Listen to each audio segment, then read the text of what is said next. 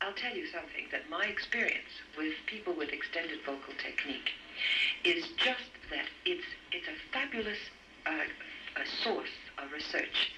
but it it for the moment it has hit an impasse, uh, a kind of a stop because these people dedicate their whole existence to developing the technique. And it would be a very foolish composer, a good composer, who would compose a piece for one of these singers because it's, it's a very limited thing and it can only be used by those people who specialize in it. The, the only thing that I could imagine is that some of these things could be taught to people who are really singers because I doubt